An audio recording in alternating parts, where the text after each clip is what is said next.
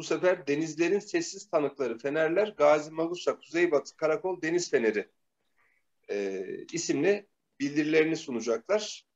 Sözü ben kendilerine bırakıyorum. Buyurun. Buyurun hocalarım.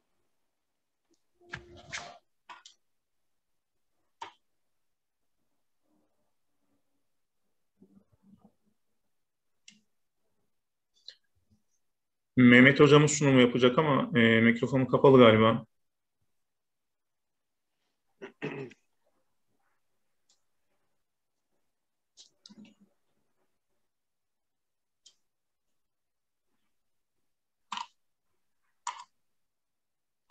Ses açma iznim yok demiş Mehmet Hoca. Açabilir aslında. Açabilir. Hocam sol alt köşede Mehmet Yahşi Hoca'nın e, sesine izin verildi. Şimdi geldi. Teşekkür ederim. Ee, öncelikle böyle bir sempozyuma bizi kabul ettiğiniz için. Ee, Şamil Hocam, e, ekran paylaşma yetkinde var mıdır? şu an paylaşım yapabilirsiniz sanırım hocam. Tamam. Ama şu an bende gözükmüyor hocam. Bir Çok saniye hocam, hocalarım bakıyorlar hemen. Barbaros Mehmet Yahşi.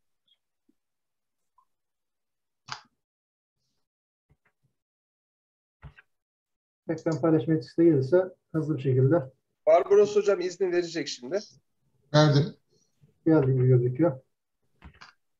Buyurun Mehmet Hocam.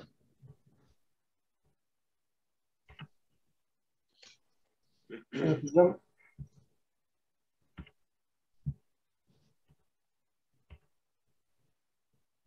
Geldi herhalde ekran görüntü.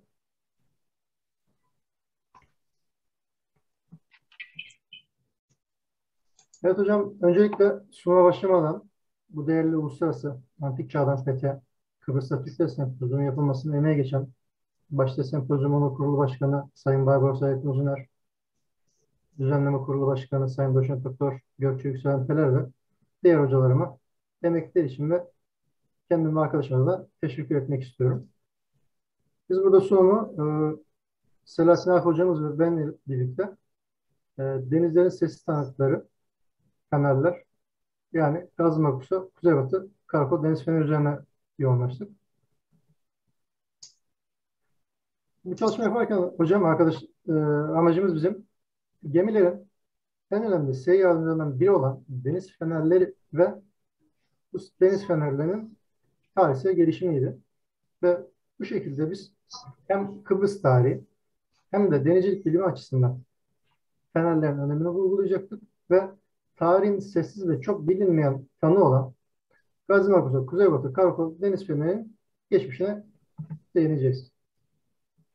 Sunum dört basamaktan ilerleyecek. Birincisi deniz fenerleri. İkinci basamakta bir liman kenti olan Gazi anlatacağız. Üçüncü olarak Gazi Kuzeybatı, Karakol, Deniz Feneri. Ve son olarak da tasvir sonuç olarak sunumu bitireceğim. Deniz fenerleri tehlikeli sığlıklara ve denizaltı kayalıklarına yaklaşırken gemicileri uyarmak, limanlara güvenle girmelerini sağlamak amacıyla yol göstermek üzere kıyıların göze çarpan kısımlarına inşa edilmiş, en üstlerine de güçlü ışık kaynakları konmuş kule veya yüksek yapılardır. İlk deniz fenerlerinin ne şekilde kullanılmaya başladığına ilişkin elde çok az bilgi mevcuttur. Rivayetlere göre bunlar hem denizcilere yol göstermek hem de kafalarını karıştırmak için kullanılıyordu. Milattan önce 4. yüzyılda bütün Akdeniz kıyılarını kapsayan denizcilik rotaları ayrıntılı bir şekilde yazılmıştır.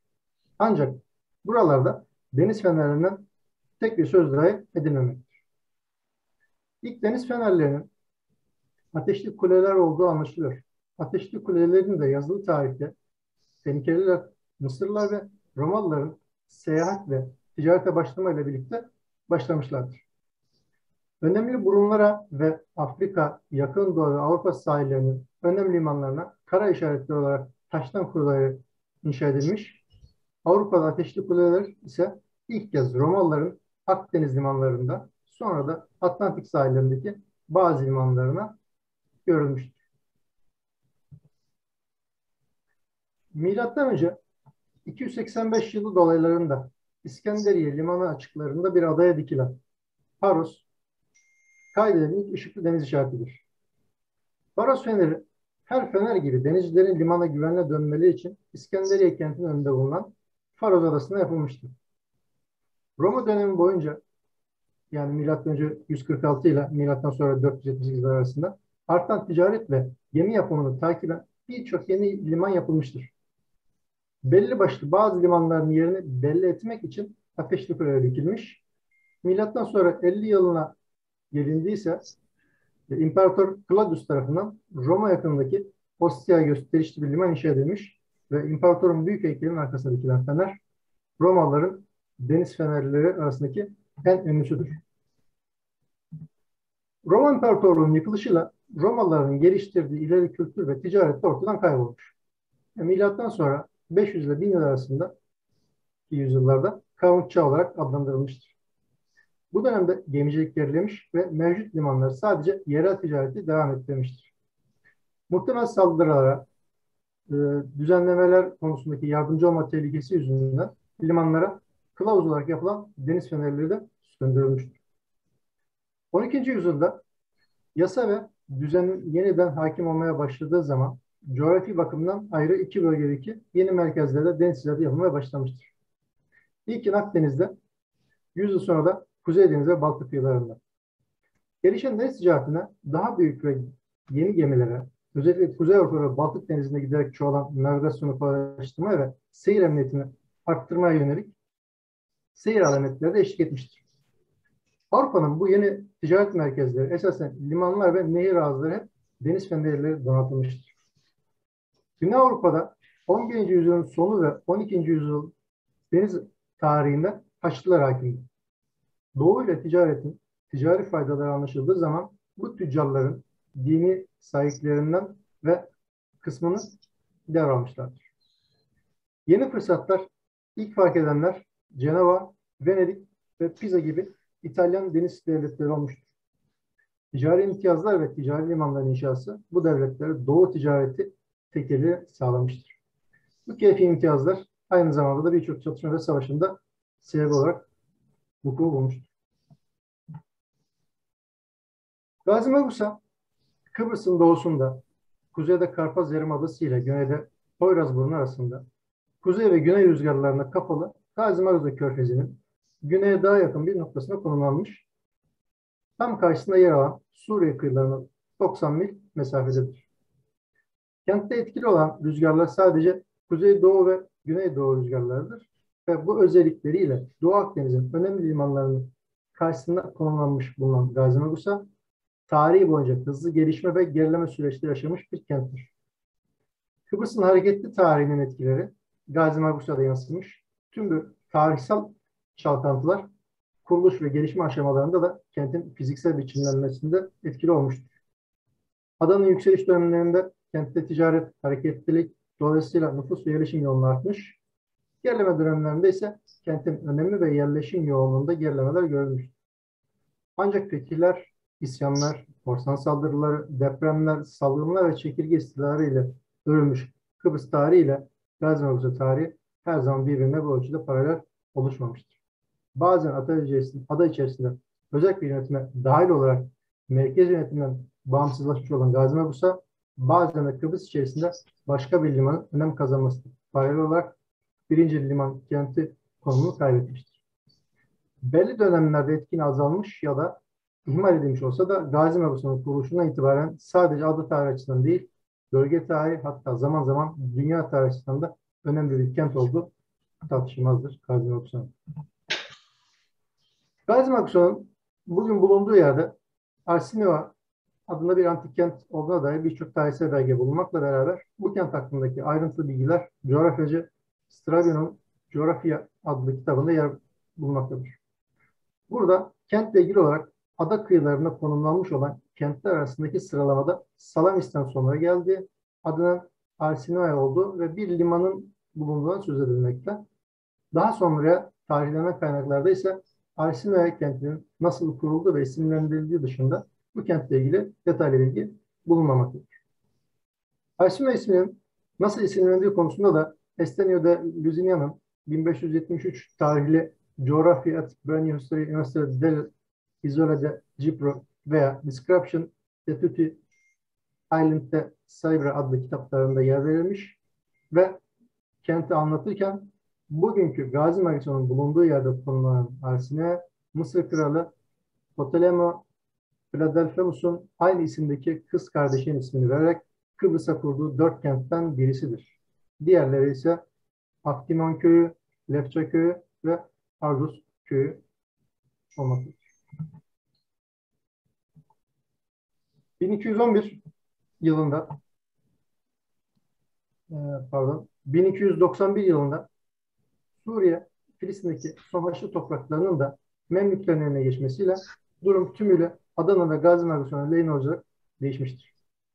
Bölgedeki tek Hristiyan yönetimi Küçük Ermenistan'daki Kırıkya Krallığı istisna olmak üzere İskenderun Körfezi'nden Mısır'a ve ötesine tüm Levant'ın kıyı topraklarının Memlük Sultanlığı yönetimine geçmesi bölgede kurmuş ticari ilişkilerin Kıbrıs'a kaymasına neden olmuştur.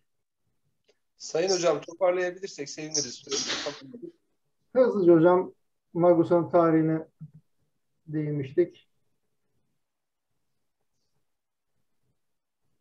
Doğu Akdeniz'in e, bulunan bu güzel kentimizin tarihsel gelişimi hakkında bilgileri okuyabiliriz. Hızlıca fenerimize girelim. Gazi Kuzeybatı Kargalı Deniz Fenerimiz 35 derece 08 buçuk dakika kuzey 33 derece 55.6 dakika doğu mevkisinde şurada göre 7 saniyede bir beyaz ve kırmızı çakan yüksekliği 18 metre deniz seviyesinin yüksekliği 60 metre. Beyaz rengi 10 de, 15 deniz milinden 178 ile 216 derece arası. Kırmızı ise 313 dereceye kadar 11 deniz miline kadar görülebilen bir deniz feneridir ve e, görüleceği üzere Gazi Mekusa bir saniye mouse'dan dolayı. E, şekillerinde görüleceği Gazi Mekusa kentinin kuruluşundan bu yana limana girmek niyetinde olan bütün deniz taşıtlarının emniyete girişleri için şehrin kuzeybatısında görevini yerine getirmiş ve devam etmektedir. Son bölüme geçmek istersek, e, fenerler gemilerin seyir yönetmek amacı yapılmış navigasyon alametleridir. Ve gündüz görünüşleri, gece ışıkları fenerlerin coğrafi konumlarını belirlemektedir. Fenerlerin kıyılar boyunca ya da kıyı bölgesindeki alagasındaki kritik noktalardan donatılmıştır.